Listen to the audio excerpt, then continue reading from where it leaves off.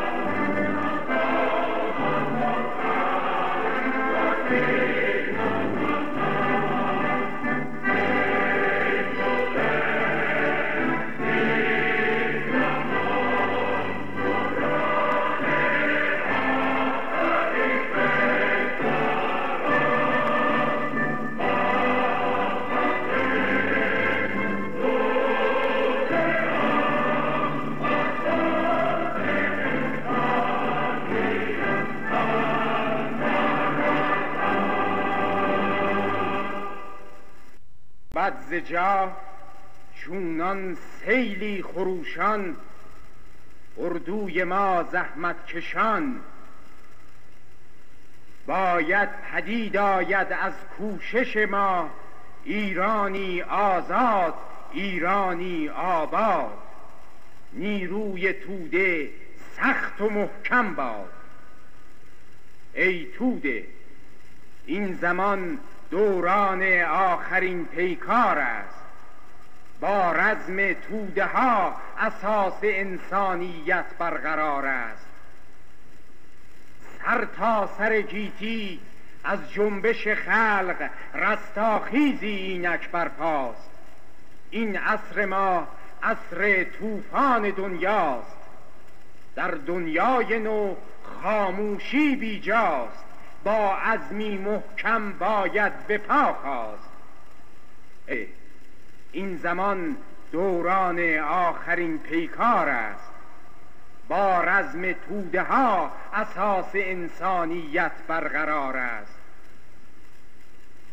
کاخ ستمکاران تا ویران گردد صبح امید تابان گردد خورشید آزادی فروزان گردد.